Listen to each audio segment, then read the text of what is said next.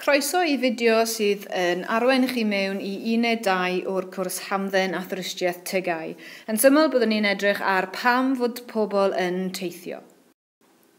Dyma'r amcanion felly i wneud yn siŵr bod chi'n deall pam fod pobl yn teithio a ran eich dealltwriaeth chi i ddeall ystyr y term teithio a'i ddiffinio, cofio'r pedwar ffactor cymell a roi enghreifftiau. Iawn sylwch ar y gweilod wedyn ar y termau allweddol. Beth yw ystyr y gair teithio? Felly, gallwch chi glicio ar pause a rhoi rhai geiriau lawr ar bapur. Os ydych chi'n gyfarwydd ar gwaith, ceisiwch rhoi eich diffiniad ar bapur. Yn swyddogol, dyma'r diffiniad. Teithio dros dro, oddi cartref neu o'r gwaith – gyda'r bwriad o ddychwelyd yn ôl adref ar ôl hynny.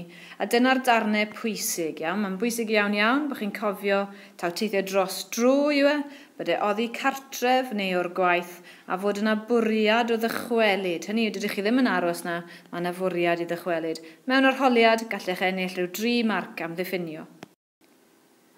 Pam mae pobl yn teithio? Wel, ysgrifennwch o leiaf chwech reswm o gwmpas eich diagram coryn. O ran eich gwaith arholiad chi, mae'n bwysig iawn iawn eich bod chi'n adnabod y pedwar prif reswm. A mae'r bwrdd arholi yn galw rhain y ffactorau cymell, sef motivational factors, neu ysgogol. Mae'n bwysig ein bod ni'n nabod nhw'n dda.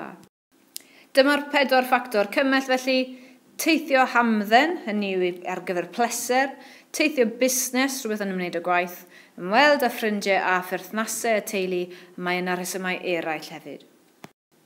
Enghraifft gyntaf o deithio hamdden byddai i fynd ar wyliau hir. Nid yw hyn o reidrwydd yn golygu mynd i'r Aifft neu i Florida neu leoliad pell, ia'n gall fod yn rhywle lleol ond am gyfnod hir, efallai wythnos neu pethefnos neu hirach. Mae hyn i gyd ar gyfer pleser, ar gyfer mwynhau ac ymlacio, gantaw hamdden yw e. Yr ail enghraifft o deithio hamdden yw gwyliau byr. Yn yr ystyr yma, mae'n rhaid fod yn weddol lleol, gan fod gwyliau byr yn golygu felly pen wythnos hir, neu ychydig o ddiwrnodau, neu dros nos. A mae'n bwysig felly eu bod nhw yn aros yn meddwl lleol i wneud hyn, neu o, o leiaf o fewn wlad fel Cymru. Pobl sy'n fel arfer yn teithio, efallai cyplau, e efallai teuluoedd neu unigolion yn drydydd gwyliau dinas.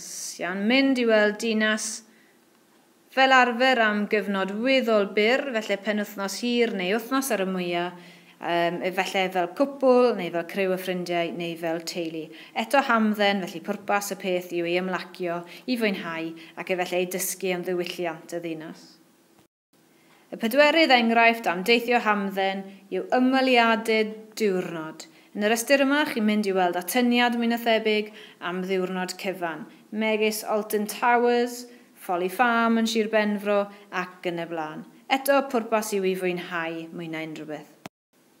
Mae yna enghreifftiau eraill wedyn o deithio hamdden fel teithio e, gyda diddordeb arbennig, efallai eich bwch chi'n hoff o gerddoriaeth ac am fynd i ryw wyl gerdd fel y fi festival neu Glastonbury.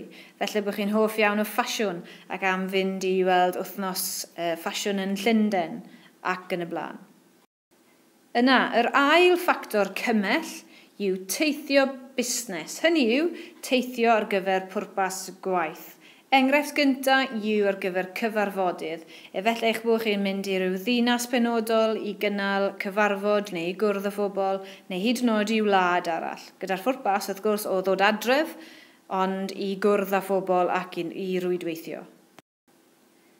Mae cynadleddau hefyd yn enghraifft o deithio busnes. Yn yr ystyr yma, mae pobl o'r un diddordeb neu yr un fyd gwaith yn dod at ei gilydd gyda nod penodol neu pwrpas efallai i ddysgu mwy am ryw agwedd.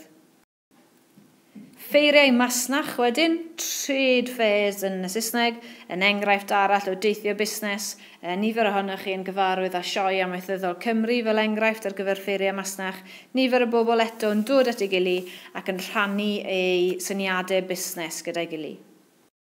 Symudwn so, wedyn ymlaen i'r trydydd ffactor cymell, sef ymweld â ffrindiau a pherthnasau, relatives, eich teulu chi.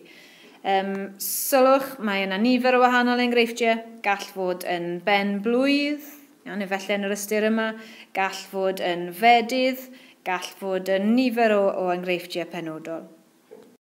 Y pedwerydd ffactor cymell wedyn, ni'n galw nhw'n rhesymau eraill, a dyma enghreifftiau i chi.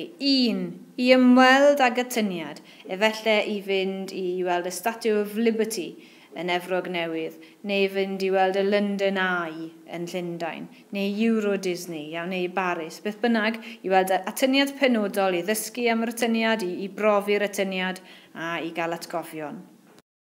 Yr ail enghraifft o ran rhesymau eraill yw iechyd. Efallai eich bod chi am fynd i uh, Dubai i gael profiadau da o ran spas ac yn y blaen sy'n medru eich helpu chi. Felly bod chi am fynd i America i gael tryniaeth um, o ran plastic surgery a'r math yna enghraifft. Iawn, nifer o resymau posib o ran iechyd, um, hyd yn oed i'r pwynt os ydych chi'n dioddau o ryw salwch, efallai bod chi am fynd i wlad arall i gael gwell triniaeth.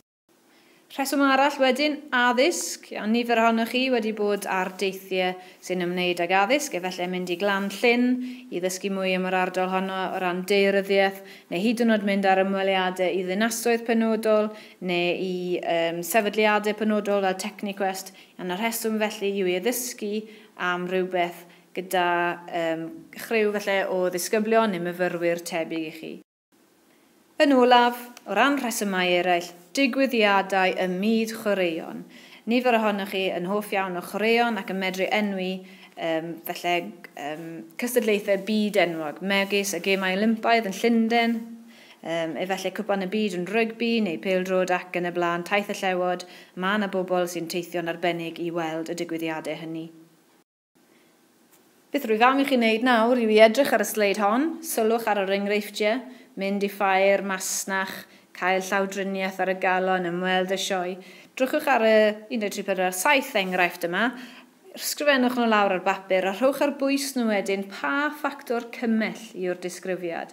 A'i hamdden neu fusnes neu ymweld a ffrindiau pherthnasau neu resymau eraill. Rhowch y danyn nhw wedyn beth yn union yw'r enghraifft hynny. Dyma'r peth pwysig nawr felly o ran eich hunan asesiad chi a ydych chi'n medru diffinio teithio ac efallai ennill rhyw dri marc am y cwestiwn hwnnw. Ydych chi'n lli enwi'r pedwar ffactor cymell yn berffaith ac enwi pedwar marc am rheini. Yna yn ola, a ydych chi'n medru nodi esiample i bob ffactor cymell. Iawn, hynny roi enghraifft i hamdden 1, hamdden 2, hamdden 3, hamdden 4 ac yn y blaen. Ydych chi'n lli restru reina un ar ôl y llall. Os ydych chi, rydych wedi gwneud yn dda.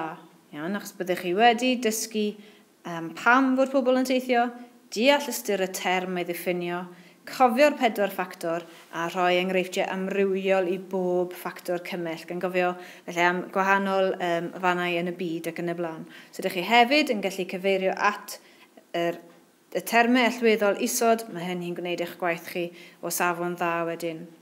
Pob hwyl!